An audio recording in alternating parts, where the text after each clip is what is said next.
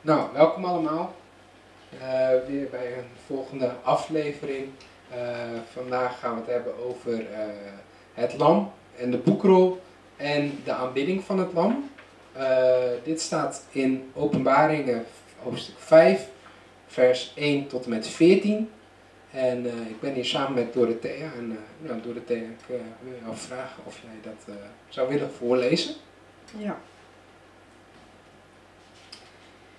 En ik zag in de rechterhand van hem, die op de troon zat, een boekrol, beschreven van binnen en van buiten. Wel verzegeld met zeven zegels. En ik zag een sterke engel, die met luider stem uitriep, Wie is waardig de boekrol te openen en haar zegels te verbreken? En niemand in de hemel, noch op de aarde, noch onder de aarde, kon de boekrol openen of haar inzien. En ik weende zeer, omdat niemand waardig was gebleken de boekrol te openen of die in te zien. En een uit de oudsten zeide tot mij, ween niet, zie, de leeuw uit de stam Juda, de wortel Davids, heeft overwonnen om de boekrol en haar zeven zegels te openen. En ik zag in het midden van de troon en van de vier dieren en te midden der oudsten een lam staan als geslacht met zeven horens en zeven ogen. Dit zijn de zeven geesten Gods uitgezonden over de gehele aarde. En het kwam en heeft de rol aangenomen uit de rechterhand van hem die op de troon gezeten was. En toen het de boekrol nam, wierpen de vier dieren en de vier, 24 oudsten zich voor het lam neer, hebbende elk een citer en gouden schalen vol reukwerk. Dit zijn de gebeden der heiligen. En zij zongen een nieuw gezang, zeggende, Gij zijt waardig de boekrol te nemen en haar zegels te openen. Want gij zijt geslacht en gij hebt hen voor God gekocht met uw bloed. Uit elke stam en taal en volk en natie. En gij hebt hen voor onze God gemaakt tot een koninkrijk en tot priesters. En zij zullen als koningen heersen op de aarde. En ik zag en ik hoorde een stem van vele engelen rondom de troon en van de dieren en de oudsten. En hun getal was tienduizenden, tienduizendtallen en duizenden duizendtallen, zeggende met luide stem, het lam dat geslacht is, is waardig te ontvangen, de macht en de rijkdom, en de wijsheid en de sterkte, en de eer en de heerlijkheid en de lof en alle schepsel in de hemel en op de aarde en onder de aarde en op de zee en alles wat daarin is, hoorde ik zeggen, Hem die op de troon gezeten is en het lam, zij de lof en de eer en de heerlijkheid en de kracht tot in alle eeuwigheden. En de vier dieren zeiden Amen. En de oudste wierpen zich neder en aanbaden. Ja, dat is een bijzonder stuk uh, ja. als je dat uh, ook zo, zo leest. Wat, wat zijn jouw uh, dingen die jou hierin opvallen? Um, ja, dat hier komt echt Christus in beeld, hè? Ja. Het lam dat geslacht is. En uh, ja, dus daarin kom je ook tegen dat uh, hij nog de tekenen draagt van zijn lijden en sterven. En, uh, ja, en dat hij dus van God de, de macht heeft gekregen om die boekrol te openen. Omdat hij uh, de dood heeft overwonnen en de zonde. Dat komt hier heel sterk naar voren. En uh, Jezus, er staat ook van ehm, met zeven hoorns en zeven ogen. Dit zijn de zeven geesten Gods. Ja, dat is de volheid van Christus. Hè? Mhm. Zijn geest die over de hele aarde uitgaat. En eh, ja, eh, zeven is de volheid. Ja, die, die ook in Jezus woont. En straalt van hem uit. Ja, en eh, weet je ook wat er in de boekrol beschreven staat? Durf je dat te zeggen? Wat, eh, wat, wat er in de boekrol staat die God eh, in zijn handen heeft? Nou, zijn dat niet die zegels die dadelijk geopend worden? Dat klopt. En die ze- zeven zegels, wat, eh, zeg maar, wat, wat wordt daar onder andere in benoemd, zeg maar? Niet, niet per se dat je nu alle zeven hoeft op te noemen hoor, eh, maar we- dat weet ik even niet. eh. In principe staat, staan er in de zegels wat er voor de eh, gemeente wat er te komen staat. Dus eigenlijk de toekomstige dingen, zonder dat als Jezus er niet was geweest, dan waren die niet geopend en hadden wij nooit kunnen zien wat er zou komen. Want Ja. niemand die daar aanwezig was, nog van de aarde of onder de aarde of waar dan ook, of in de hemel, waren eh, waardig, los van God natuurlijk, eh, om de zegels te openen.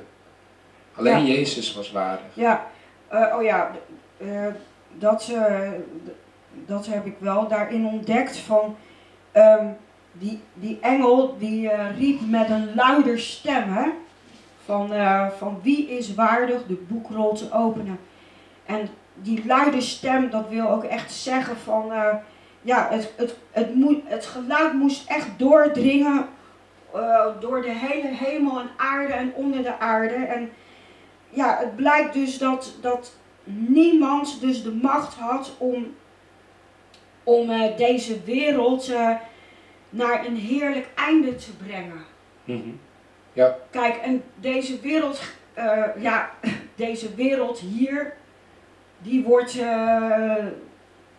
ja, we weten dat God dadelijk de hemel en de aarde, dat die zal vergaan. En dat er een nieuwe hemel en een nieuwe aarde komen. Ja. Ehm, ja, maar Jezus eh, die heeft het daarover dat hij eh, echt alles, hij is degene die alles gaat herstellen. En eh, niemand kon ook, kan ook deze wereld verlossen. Dat kan ook alleen maar door Jezus.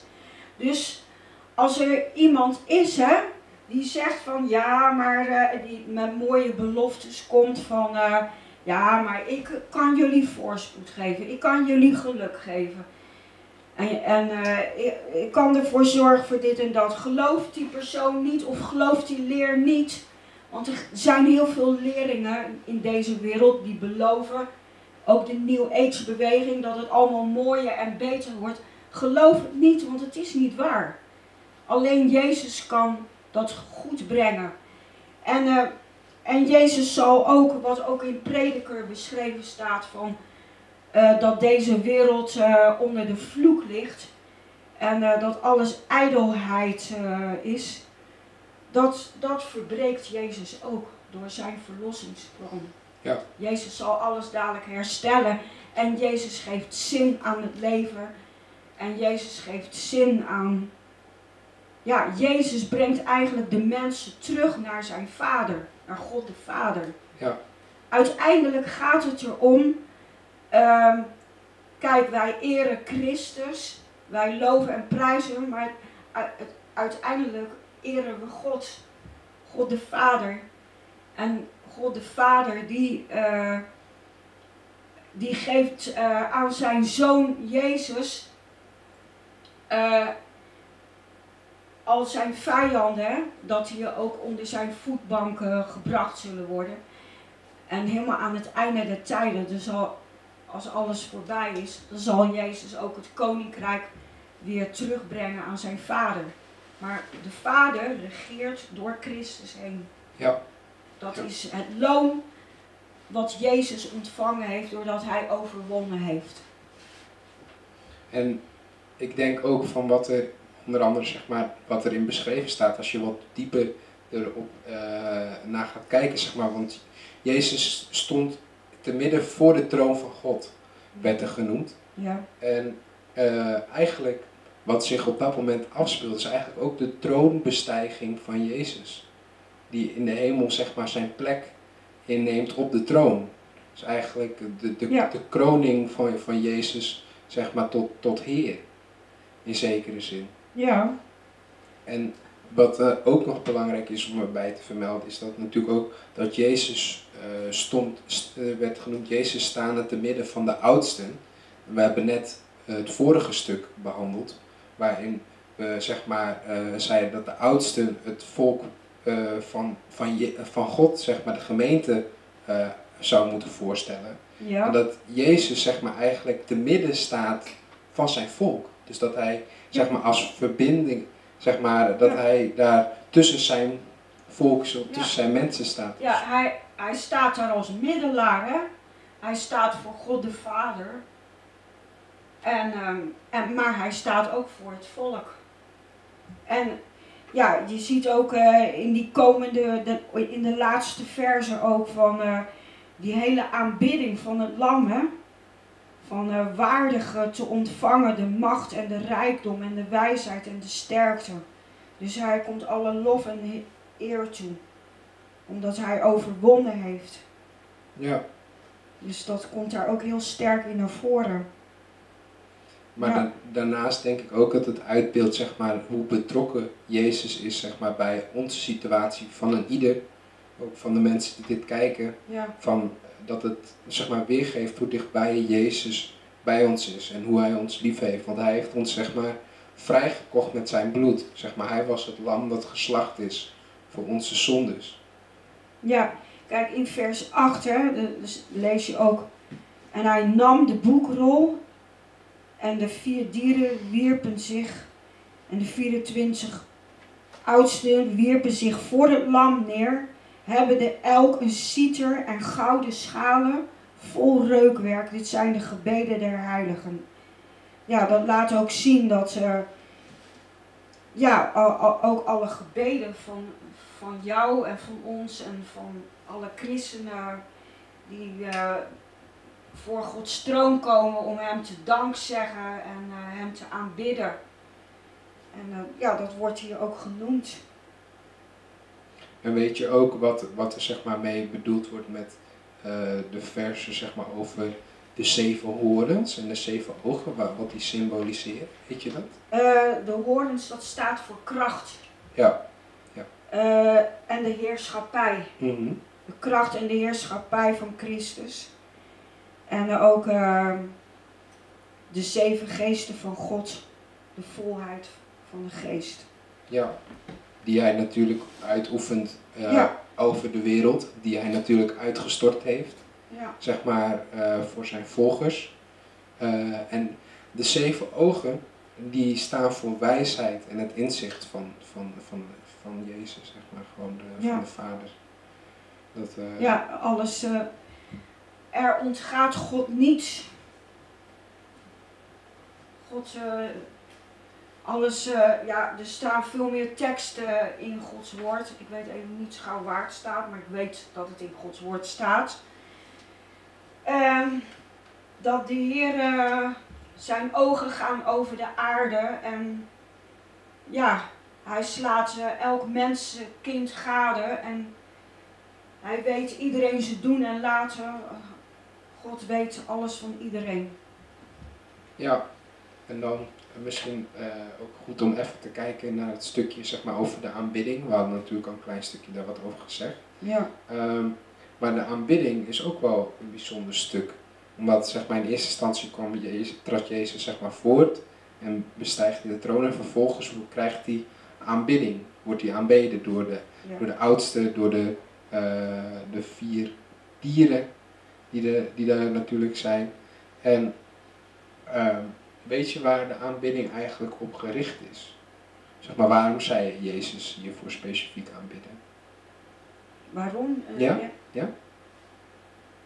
Ja, omda- omdat hij eh, gewoon eh, eh, met het hele ver- verlossingsplan is gekomen. En ja, dat, dat roept gewoon tot heel veel dankbaarheid. En, eh, Jezus, heeft, Jezus eh, heeft gewoon deze vreselijke wereld waarin wij leven.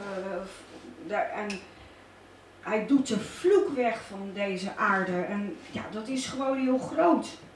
Ja, En eh, ja, de wereld was verloren voor God. En het is gewoon geweldig dat, de, dat Jezus het, het volk weer terugwint voor hem en voor God. Ja, want er staat ook natuurlijk een belangrijk stuk eh, in. eh, want u hebt eh, onze, voor onze God tot koningen en priesters gemaakt. En zij zullen als koningen regeren over de aarde. Dat is natuurlijk wel een, een, een belangrijk stuk waar Jezus voor gezorgd heeft. Nou, dat is ook al één grote genade van de Heer. Dat Hij ons er allemaal in betrekt.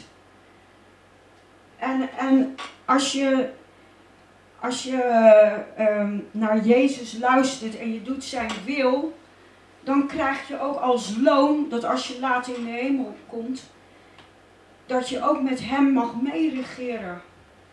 En ja, dat is gewoon eh, geweldig. Dat je gewoon. eh, God heeft gewoon een, heel mooi plan voor ons. Dat je gewoon. wij mogen gewoon delen in zijn, in zijn heerlijkheid en in zijn overwinning. En ik denk ook dat het in zekere zin ook een bemoediging, eh, dat stuk Ja. is voor eh, christenen die zeg maar, eh, die Jezus willen volgen, die Jezus dienen, Ja. dat het een bemoediging is Ja, van wat, wat, wat er te wachten staat. ja kijk, kijk, want we hebben toch die zeven brieven behandeld. Ja, En dan geeft Jezus ook steeds bij de laatste verse van, ja, en als je eh, mijn wil doet, dan zul je dit als loon ontvangen. Dat zegt Jezus bij ieder eh, brief, hè? Van, Ja. eh, die zal met mij eh, zitten bij God. En nou ja, hij geeft gewoon allerlei beloftes. ja. Dus ja, Dus als we dit kort moeten samenvatten, hoe zouden we dit het beste kunnen samenvatten? ja. Begint natuurlijk bij de, eh, dat Jezus naar voren treedt omdat hij waardig is. Eh, nou ja, ehm, Jezus, ehm, Jezus is alleen de enige God, mens, God die, die deze wereld kan redden en niemand anders. Ja. Dat, dat komt er in grote lijn op neer. Niemand dan Jezus alleen. En eh, ook al hoor je allerlei leren en allerlei eh, beloftes, ook die mensen geven. eh, nee, dat is het niet. Je moet teruggaan naar het evangelie. Kijk, wou, dat wou ik ook nog zeggen hier, die oudste, hè, Mhm. dat zie je hier ook weer in terugkomen. Die zeggen dan tegen Johannes van ween niet, want Jezus is waardig. Het lam is waardig om de boekrol te openen. Dat is weer de kerk die weer het evangelie brengt. Hè? Ja, Dus eh, alleen, ja, wij moeten Jezus, de kerk moet Jezus verkondigen. ja, Want alleen door Jezus vindt het verlossingswerk plaats. En, eh, en door zijn verlossingswerken komt hem gewoon alle lof, eer en prijs toe. En Ja. dankbaarheid. ja ik, dus ik denk ook eigenlijk weer van wat we in het vorige stukje ook bespraken hebben. Net zoals wij God moeten loven en prijzen, dat wij Jezus net zo goed eh, daarvoor moeten prijzen voor zijn offer. Ja. Niet alleen God heeft natuurlijk zijn zoon geofferd, maar Jezus heeft zichzelf ook geofferd voor ons. Ja. Ja, want als hij dat niet gedaan had voor ons. Ja, dan. eh, kijk, eh, God de Vader ziet ons volmaakt in Jezus. Ja. Als hij jou ziet, dan zie- ziet hij Jezus door jou heen. Ja, En hij kijkt niet naar jou meer naar jouw zonde. Want Ja. jij bent schoongewassen door zijn bloed. ja dus jij ik, bent rein in zijn ogen. ja, Volmaakt. ik denk dat dat ook goed is, zeg maar, van als mensen zich afvragen van waarom zeg, zeg, maar van wat houdt het in als iemand zegt van God heeft ons lief, dat dit eigenlijk ook een goede omschrijving is waarom dat God ons zo lief heeft. En waar, zeg maar, wat hij ziet ook van de liefde, zeg maar, van dat Jezus, zeg maar, zeg maar, God had ons lief dat hij zijn een zoon aan ons gaf. Maar Jezus had, had, ons ook heel erg lief, heeft ons heel erg lief, allebei natuurlijk. En er komt nog één tekst bij mij in op, uh, van uh, zo is er dan geen veroordeling wie in Christus Jezus zijn. Dus kijk, mensen kunnen zich heel erg angstig voelen. Oh, ik heb dit verkeerd gedaan, ik heb dat verkeerd gedaan. En uh, een heel slecht veroordelingsgevoel, dat, dat doet de duivel ook door je heen. Hè? Van kijk eens hoe slecht je bent. Maar uh, nee, als jij Jezus hebt aangenomen, dan, dan, dan, ben jij, dan sta jij rein, voor in, ben jij rein in Gods ogen. Dan mag je voor Hem leven. En als jij zonde beleidt, dan is de Heer die jou vergeving schenkt. Want Jezus heeft jou dan schoongewassen door zijn bloed, door het offer wat hij bracht. Ja, nou, ik denk dat dat een mooie bemoediging is voor de mensen die dit kijken en terugkijken. Ik zou het hiermee ook graag willen afsluiten. Ik wil jullie bedanken voor jullie aandacht en ik wens jullie nog een hele fijne dag.